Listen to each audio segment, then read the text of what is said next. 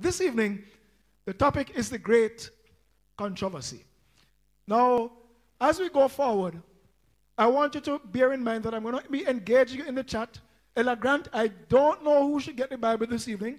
One of the Bibles is going to Sister Sister Manahan Parker, who sent the answer straight to me, but I've cut her off from sending answers to my WhatsApp. uh, she can send it, but I'm not going to read it because she's too smart. She just bypasses all the processes and sends it straight to me. So I must get answer quickly. So please put them in the chat and we'll have up the Bible for somebody else. So it's a Manan Parker. A Bible is here for you. And someone else will name that person. Perhaps by the time we close, Ella Grant will name that, that person. Let's pray again. Eternal Father, let self now be set aside and Jesus' name magnified. As you touch the hearts of your people, provide us with your grace and power, and may no one be the same. After the message this evening, we pray in Jesus' name. Amen. The Bible has an extensive record about the controversy between God and Satan, Christ and Satan. That record involves the stories of various angels involved in so many contests, disputes, controversies in the scriptures.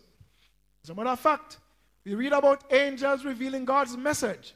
Revelation 7 tells us of four angels holding back the winds of strife. Revelation 14, three angels proclaiming God's last day message, which will touch by God's grace this coming Sabbath. Revelation reveals the endless struggle, the angelic struggle between good and evil, between Christ and Satan, and it shows that battle that led in Satan and his angels being evicted from heaven. I say evicted because this, this contest involved in them being thrown out, cast out, kicked out, as it were. As a matter of fact, Jesus said in one place, I saw the devil fall, I saw Satan fall as lightning from heaven. In other words, he, his exit was not voluntary and his exit was not normal. Because when you fight against God or when you attempt to fight against God, you are going to be in serious problems. So here are these angels fighting in heaven, and the dispute all began with a person called Lucifer. Revelation chapter 12, verse 9. There was war in heaven. Michael and his angels fought against the dragon, and the dragon fought and his angels. We are told that he prevailed not. Praise God for that. And not only did he not prevail, but no place was found in heaven for them. So what happened? The great dragon was cast out. That old serpent called the devil and Satan that deceived the whole world, he was cast out of heaven, and his angels were what? Cast out with him. Praise God. We say praise God, but you know, he was cast out, and among the place he has been, is, he is now, is here on earth. But we'll say more about that. So he was kicked out of heaven because in this battle, Satan could not manage God the Father. He could not manage Jesus the Son. He was kicked out of heaven and he came to make his abode here on earth.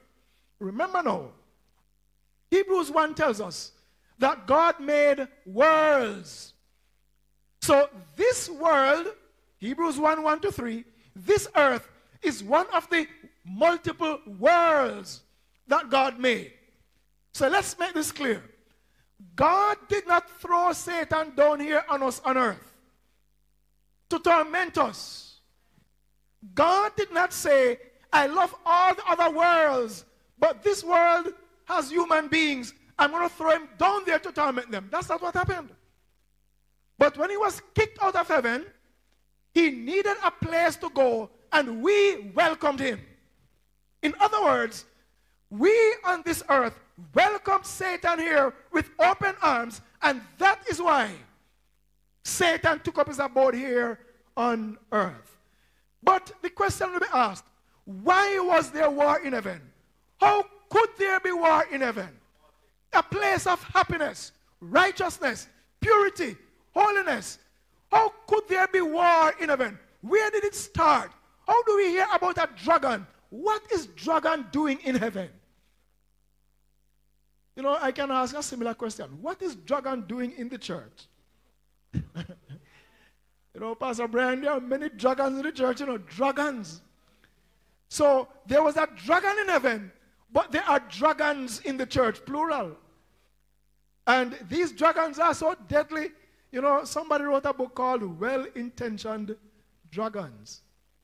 And the concept behind that little book, very good book, is that there are some dragons in the church, not meaning evil. They are well intentioned, they mean good, but the end result is that there are dragons in the church, pure problems, difficulties to elders, and so on.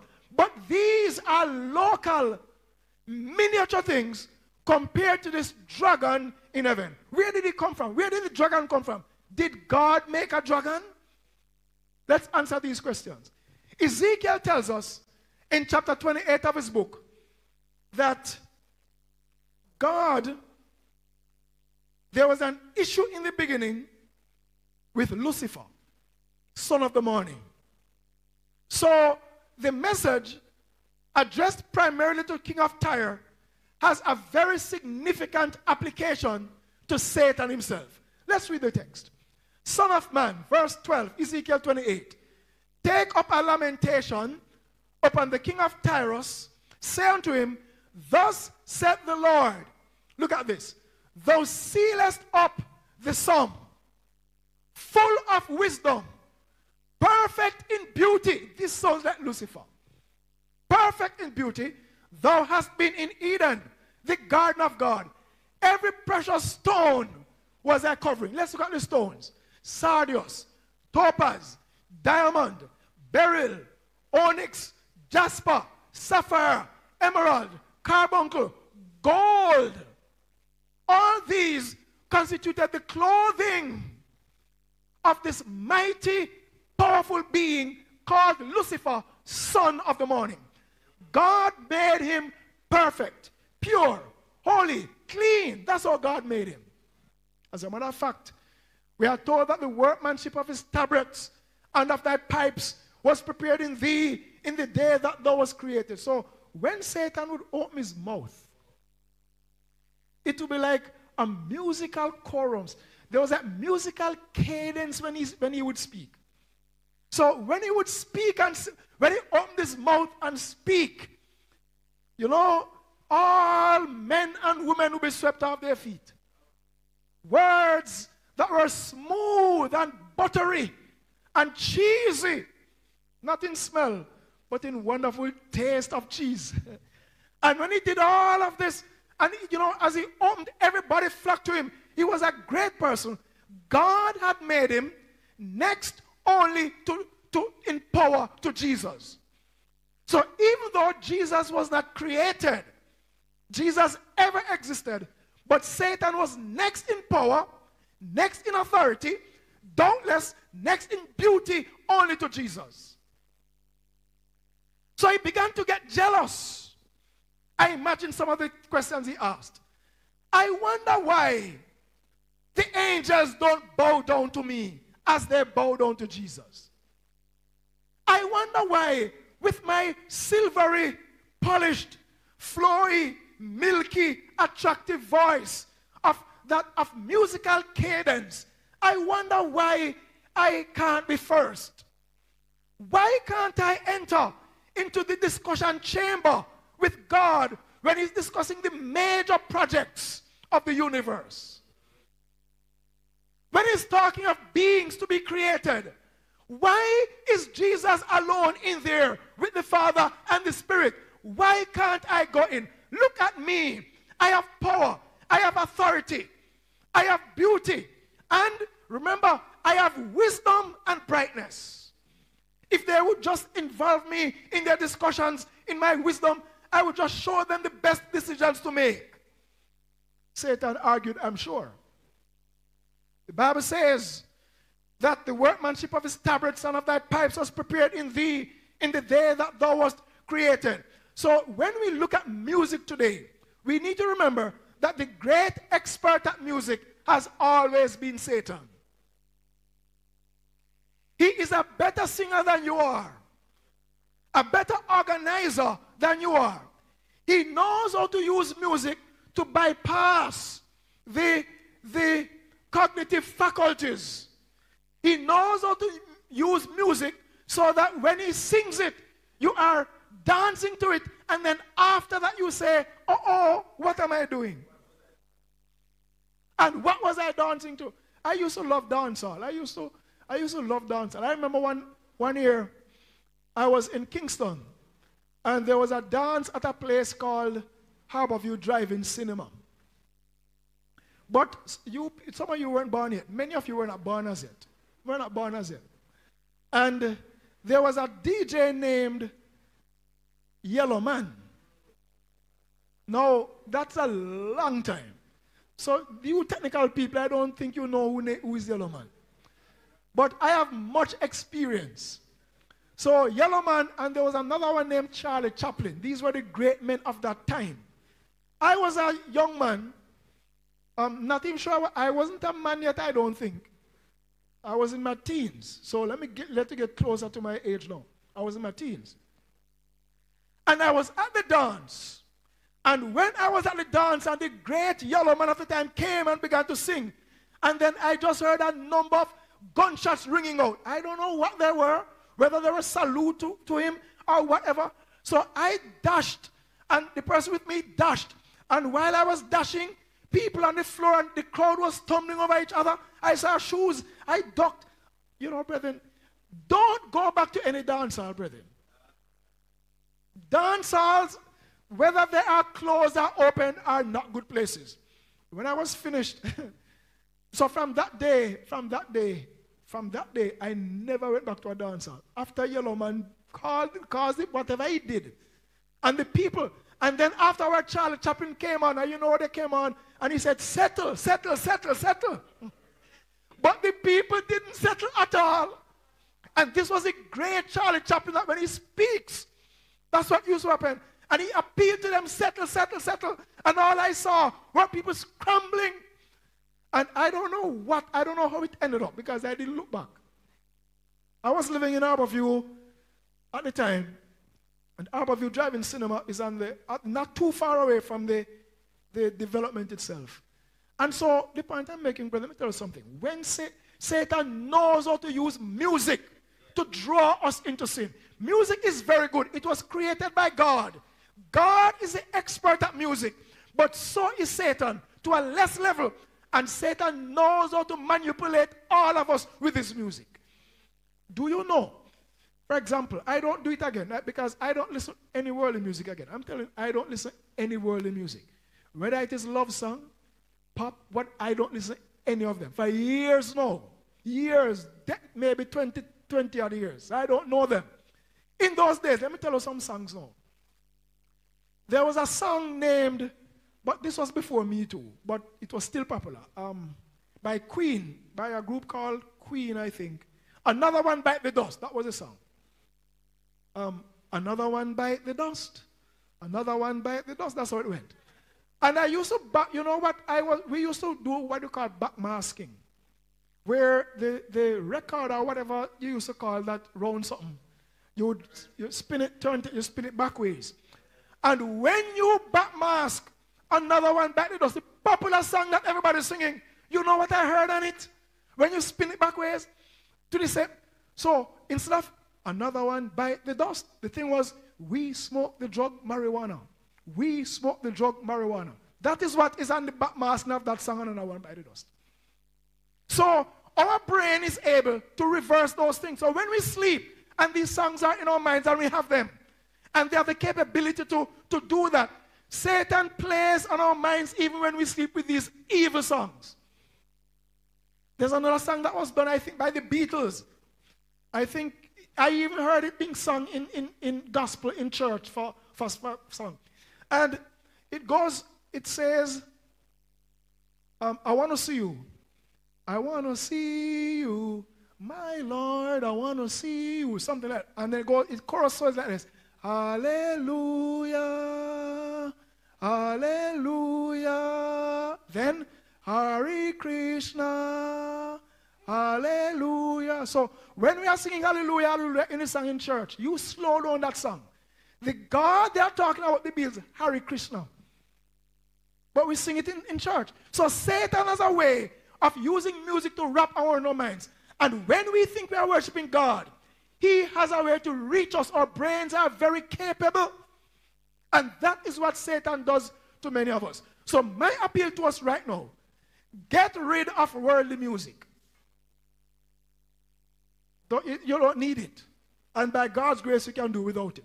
So Satan, the son of the morning, rather Lucifer, anointed cherub that covers, God set him so. He was on the mountain of God, walked up and down in the stones of fire.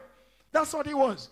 Now, God said, Ezekiel 28, 50 to 17, Thou wast perfect in thy ways from the day that thou wast created till iniquity was found in thee.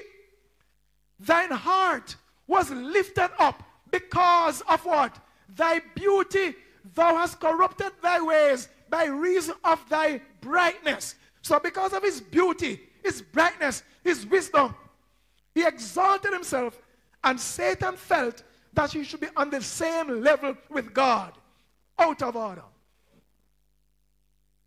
Satan felt that God was not fair to him. God was treating him unfairly.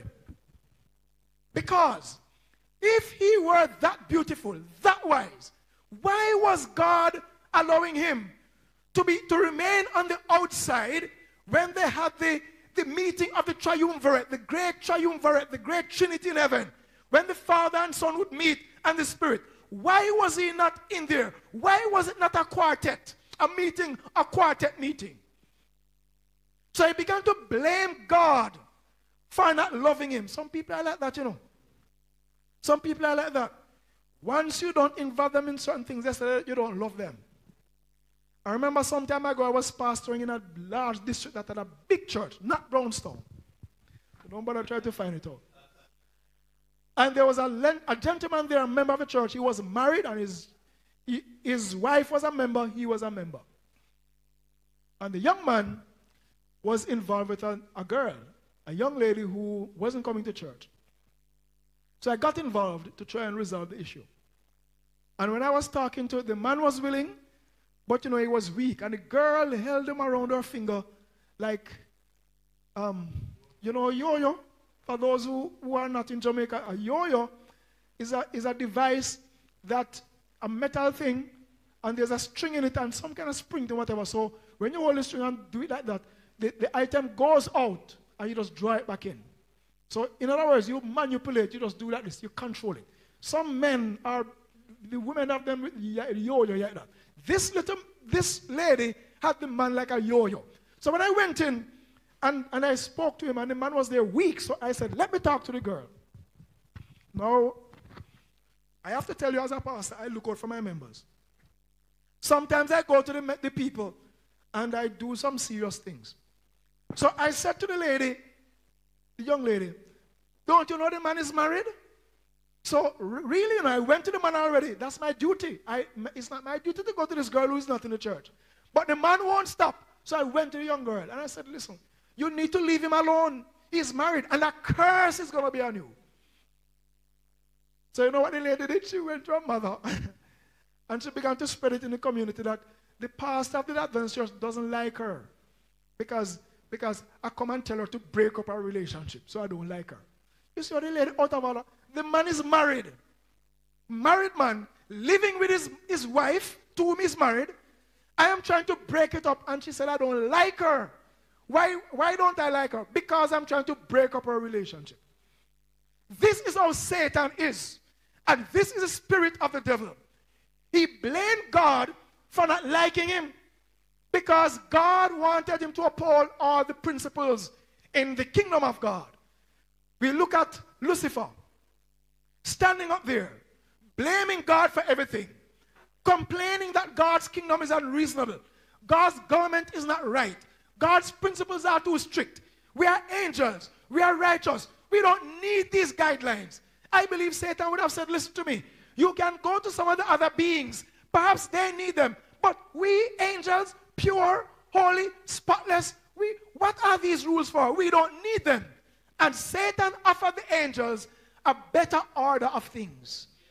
You know, like Absalom, he said to them, You know, if only I could get a chance to be in charge, you would see how, how happy everything would be. Now, heaven was a very happy place. The happiest place you could find. Angels sing, Holy, Holy, Holy. They're always happy. A happy place. But Satan offered, Just give me a chance and you will realize that what you have now is not happiness, it's sadness. You are yet to know happiness. Give me a chance. This is what many of us do today. And the controversy began in heaven when Satan misled these angels. We are told in Isaiah 14, verse 12. How art thou fallen from heaven when he fell?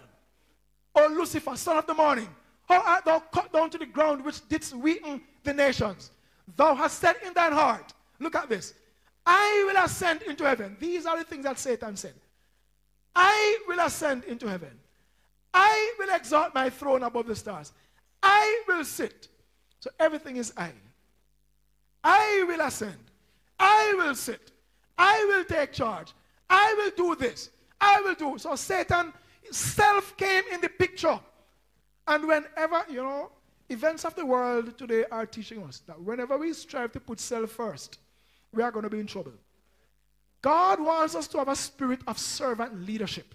Be willing to serve the people, even as Christians, wherever we are, whether leaders or not. We are leaders in our various spheres, perhaps in our families, perhaps in our communities, perhaps in our workstations. And God doesn't want us to say, I, I should be first. I should be there. I should do that. I should get that. God wants us to be servant leadership in principle. So, so what we should do is be willing now to let others go first and we stay last. That's God's plan. So Satan said, I will ascend above the heights of the clouds, verse 14. I will be like the Most High. There he was, and that's what he said. So what happened? Because he continued like that, surely God tried with him. God tried with him. They considered him angels of God showed him, and them would have explained and said, Listen, Satan, you know that what God said is true. He is righteous. He knows far better than we do. And look how happy all of us are. But Satan might have argued, Yes, we are happy, but I know there's a higher state we can find. But the angel said, But everything is peace, harmony. Why disturb it? Everything is in harmony. Why do you want to disturb it? But he wouldn't listen. So as much as I pleaded, he resisted. And God did not cast out Satan at once out of heaven. So long God waited that Satan took the opportunity to win one third of the angels of God. Can you imagine that? So let's say, right now, let's say God has 100 million angels in the beginning. He had that in the beginning. That's a, just a, that's not the figure, but that's just a little a little small figure compared to the number of angels. 100 million. You know what it means? When Satan was finished, God had 66 million and Satan had 33 million. That's what it means, you know. When the devil was finished, God, whatever number of angels God has now, Satan has half that amount. Then if God had left him in there for a little while, what would have happened? So God cast him out. He had to cast him out. God delayed. He delayed to let the plan of redemption work itself out, to let people see the results of sin. So you may ask the question, Pastor, why didn't God just throw him out and, and just stop all of that and, and just cut him off so that we could continue in righteousness? God couldn't do that. Because God's government is based on love. So God wants worship out of love. Remember, Satan was accusing God of all these evil things. He's unfair. He's not giving you the best. I know better. Something is better there for you. Had God killed him, the other angels, maybe all of them, would have said, Yes, man. And, and when they see God, they'll say, and they begin to tremble when they see God. For the fear. And they would say, What? Make a remember serving He might kill us too, as he killed Satan. God, God doesn't want that kind of worship. So God allowed it to play out, to let people, to let the angels get a glimpse of what rule would have been like under Satan. God, God, as it were, watched and said, okay, let me show you what would happen if Satan is in charge. And do you know what would happen if Satan is in charge? The world is seeing it today. Let me show you what would happen if Satan is in charge. If Satan is in charge, anxiety, pain, suffering. When Satan is in charge, casket. When Satan is in charge, terrorism. When Satan is in charge, these are the results when Satan is in charge. He is in charge of the world today. That is why these things are happening. He is in charge because we chose him to be in charge. God was in charge, but we turned our backs on God through Adam and Eve. They turned their backs on God, and we are following Satan today. He is in charge because we put him in charge. What is the result? Terrorism, crime, violence. I'm going to put something on the screen. Those of you who, who, whose stomach can't take certain scenes, don't look. I'm going to put a, a picture of a little boy who was suffering from famine. I have many of them, but I'm, gonna put the, I'm not going to put the one with the ribs. I'm not going to put that one. I'm going to put up another one, but still you may, you may look at it. This is what it means. This is what it means. When Satan is in charge, this is the result. When God was in charge and Satan wasn't in charge, was the world like this? Did we have terrorism? Was there pain and suffering? Were children covered with flies all over as as they struggled to survive? The picture, I saw a picture, I saw a picture recently. Real picture, picture of a real scene in one of those countries. Won't call the name. And we saw the picture of a little child, bony, might have been about six, seven, bony, bony child, sitting somewhere looking like he was just waiting to die. And in the picture was the, the, the, the person captured the picture with a, a vulture perched in a tree. And the picture, I don't know, the picture gave the impression the vulture is just waiting. This is the what happens when Satan is in charge. So God showed the world when he's in charge. How did we reach this state at all? Let's get back to that. How did we reach it? God made a perfect world in Eden.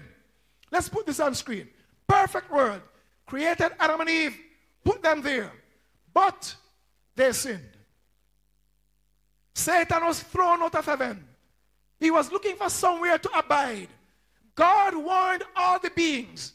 So every other planet he went to, they run him, chased him. But when he came to Adam and Eve, he assumed another posture. He entered into the serpent. Genesis 3 tells us this. The serpent, who used to fly and was very magnificent in color at the time. We are told by in the book, the, the patriarchs and prophets and great controversy as well. You, you may, the origin of evil, that's a chapter. If you can get this book by Ellen G. White, Patriarchs and Prophets, or the one by the one named Great Controversy, and you look for the title, The Origin of Sin, or How Did Evil Begin, or something like that, and you realize, just as the Bible confirmed, that in the beginning, God had no intention for us to know evil at all. So when he made Adam and Eve, placed them there, Satan came in in the form of a serpent. Beautiful. Appealed to Eve. And when Eve was there, having wandered from, from Adam's side, I won't go into that. And when he was there, when she was there rather, and you know, eh, Satan waited, and as Eve came there and stood at the tree and looked, and she said, I wonder why God said, I must eat it. Look how they look rosy and sweet. So he was there wondering. You know, sometimes we must be careful, you know.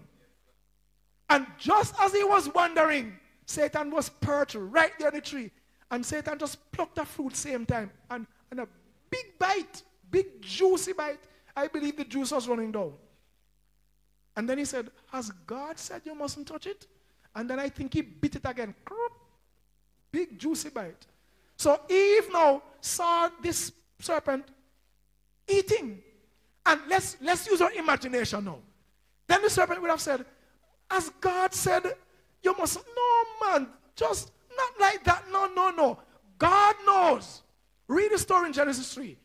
God knows that the day you eat the fruit, then you will be like him, knowing good and evil.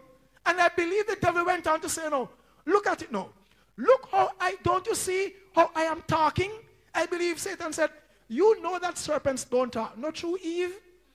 And Eve met and said, No, serpent don't talk. Why you think I'm talking? It is because I have eaten the fruit. God. So the same lie he told the angels in heaven, he used on, on, on, on human beings. God knows that if you do this, you will reach a higher state of existence. Don't worry. If you disobey God and do this, you'll be wiser, stronger, and you'll get powers that normal people don't have. This is what Illuminati teaches. There's an Illuminati man who has contacted me. you know, I, I don't know where in the world he's from. And um, he's offering me houses and lands. Serious business. I don't I didn't even respond to him. You know, just like Satan. All these. But I'm happy that they are watching the program. Happy that the Illuminati people are watching the program. Learning of the love of God. Jesus wants to change all of that. So no, the lesson from Jesus is this. This is the lesson.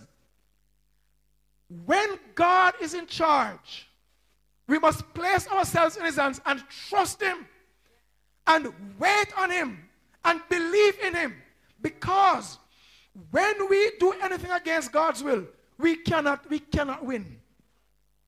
We cannot win. Satan paints a picture that when we disobey God, we will rise higher. We'll be have special powers. And we can do these things. But what was the result at last? Eve took the fruit to Adam. He offered it to Adam. Adam ate the fruit. Adam said, you know, Adam said, you know, Adam knew it was wrong. Adam knew he, she had sinned. Adam knew that the devil had convinced her. Adam knew she was going to die. But Adam said, like many men today, well, if, if she's going to die, might as well I just die with her too. Let me just die with her. So, you know, that spirit of Satan still prevails. You know, some people like that.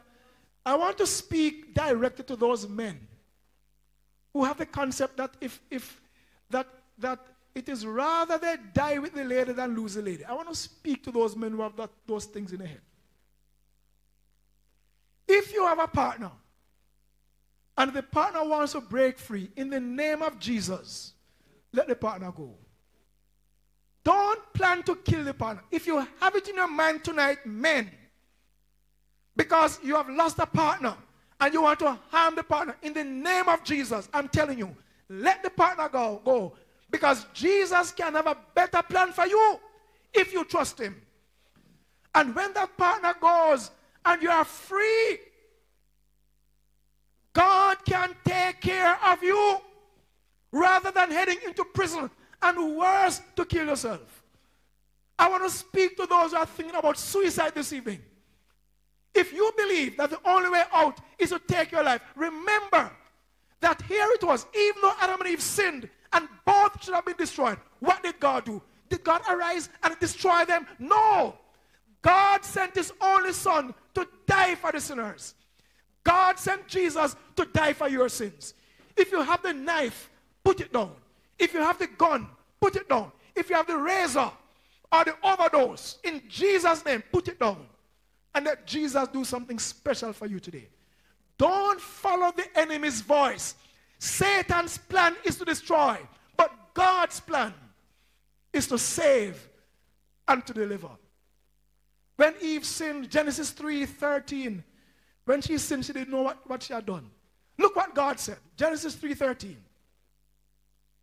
And the Lord said, the Lord God said unto the woman, What is this that thou hast done? In other words, God said, when, when Eve sinned, God said, Eve, what have you done? You know, do you know what you have just done? Satan said to Eve, if you eat it, you will be like God, knowing good and evil. God did not want us to know evil. God did not want us to know anything about evil. He didn't want us to know about casket. He didn't want us to know about terrorism. He didn't want us to know about suicide bombing. God did not want us to know anything about evil. God's plan was that only good we should know. Not everything God knows we should know. God knows good and evil. But his purpose was all human beings should know experientially is good. And God has made a plan to bring us back to that stage. Praise God. God has made a plan to bring us back to that stage. You know, I read, put this on screen for me now. Let me just show you one other thing that Satan is doing today. This is, I think, the Montego Bay Wharf. I took this out of the Gleaner on Monday, January 18. I put the date there. I just copied and pasted. The Gleaner understands that five weapons, including rifles and handguns, were found in a shipment on Monday. That was Monday gone. This, I think this story was, this story was Monday night. And apparently, the, when they said found on Monday, I don't know if it was Monday in the day or the previous Monday.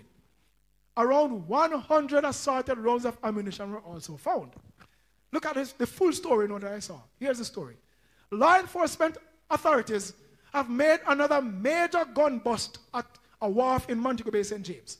The Gleaner understands that five weapons, including rifles, and handguns, were found in a shipment Monday.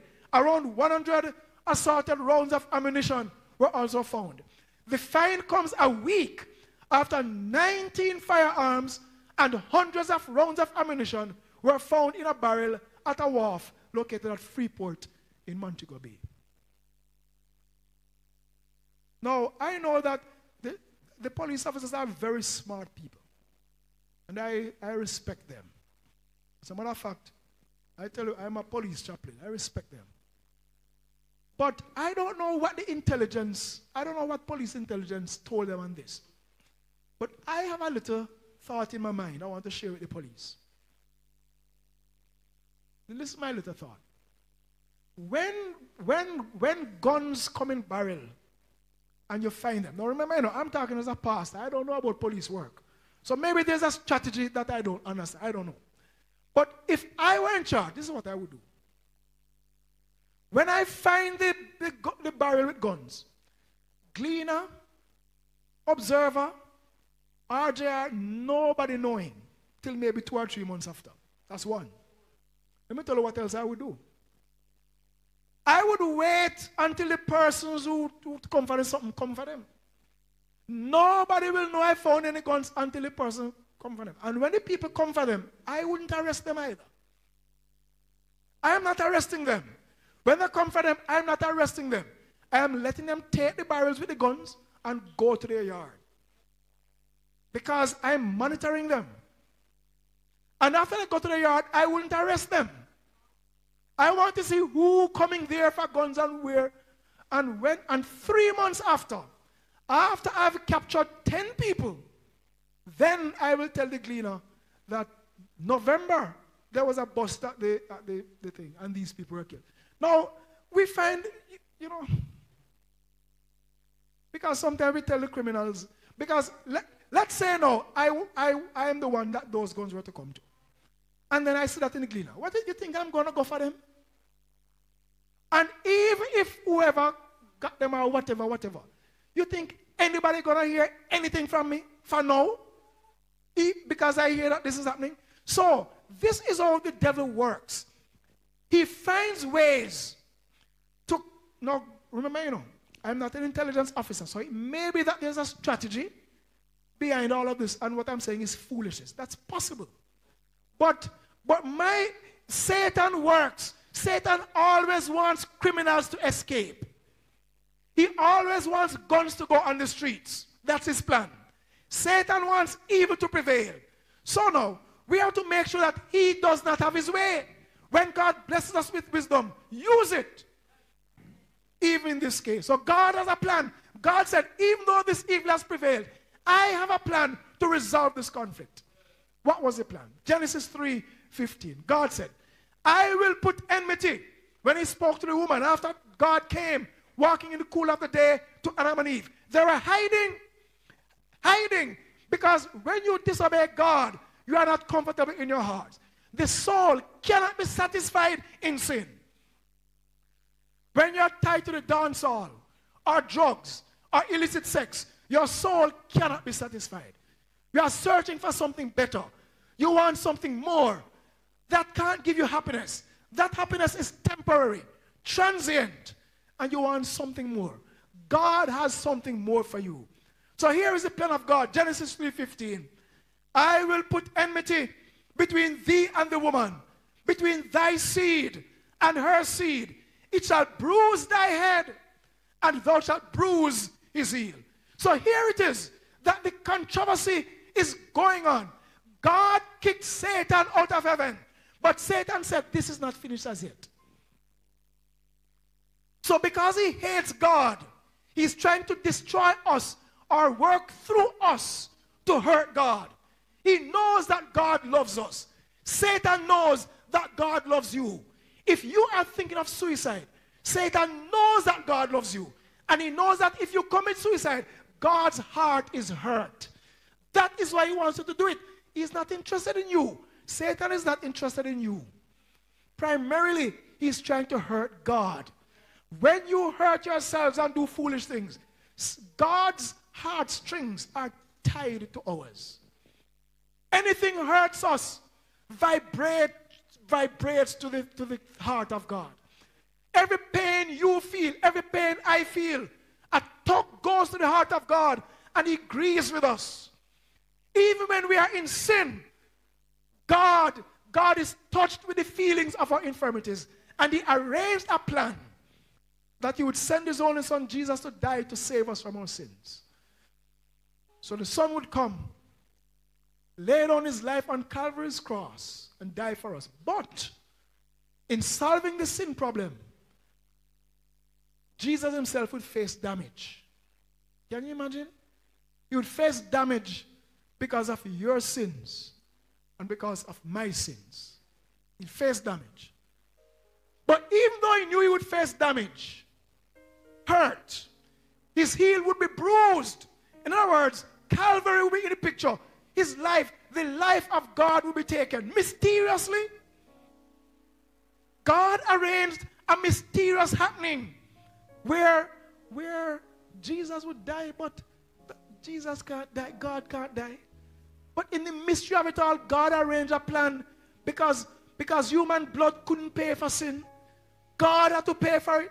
So, so God had to be the one to lay down his life, and God can't die. So God arranged a mystery. Send his son, Send his son in the form of human being, human flesh. Became, was made in the likeness of flesh for us, who knew no sin, that we could be made the righteousness of God in him. And in that plan, God has arranged for your salvation and mine. Doesn't matter how far we are in sin. Doesn't matter how far you are in sin. Doesn't matter what you have done, what you have committed, how deep you have fallen. God's plan is to reach out to you and draw you back to yourself. Satan might have fooled you. Satan might have tricked you. Satan might have abused you. He might have used you Perhaps he's using you right now. He might have abused you. And if he has not yet done so, he's certainly going to refuse you. Not so with Jesus. Jesus came to die. He, he, he laid on his life so that you could have eternal life. And this evening, I invite you as we sing our closing song, accept the offer of Jesus in this controversy. This war between Christ and Satan, we are like in the middle of it. God loves us, Satan doesn't. Everything Satan does to us hurts the heart of God.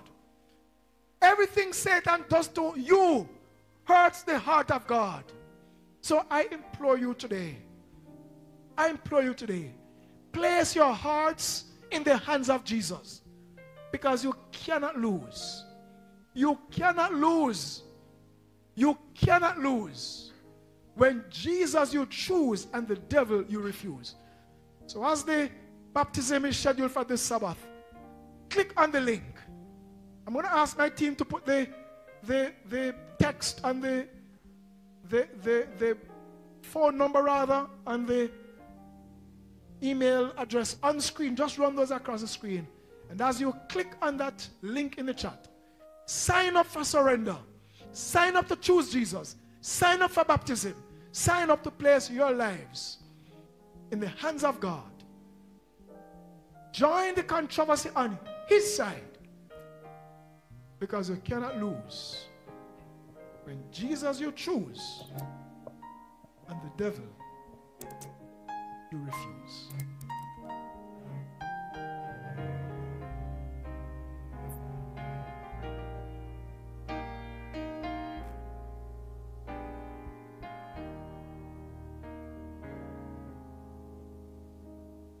When I need him, I know where to find him. In my place of prayer, his spirit hovers near. For Jesus' voice gently gives me my direction. and I'll follow that voice that I hear. His voice makes the difference when he speaks. He relieves my troubled mind. And it's the only voice I hear that makes the difference. And I'll follow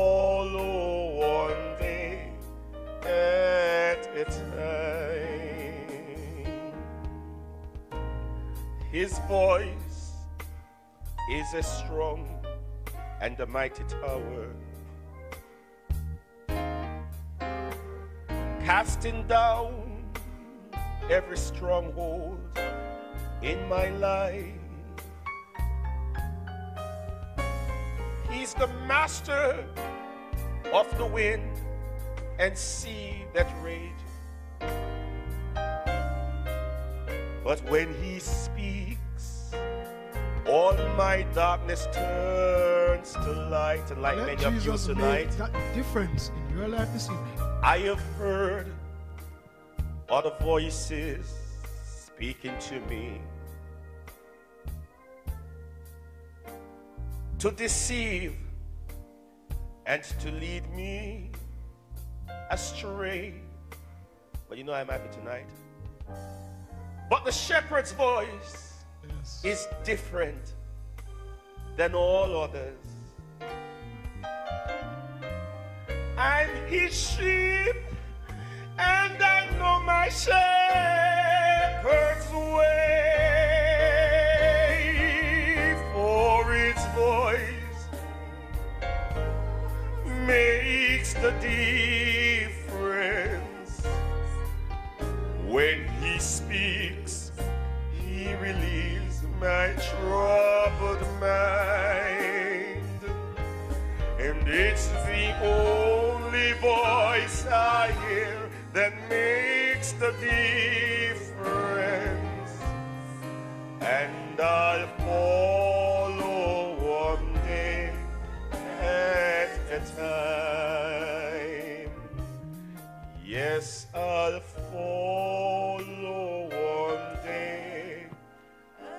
time. Uh,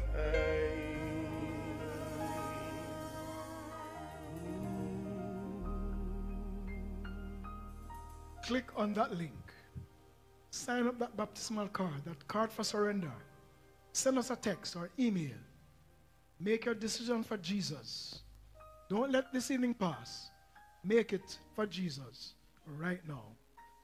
Our Father, take your people in the palm of your hands this evening and save us. Save those who have not yet given Jesus their hearts. Save those of us who have surrendered but are still having challenges. Save those who, has, who have surrendered and are walking with you. Lord, grant all of us your salvation. And if the devil is trying to get somebody to do himself or herself harm or someone else harm, Father, settle every heart, every mind this evening for good, for righteousness, and for holiness. We pray in Jesus' name.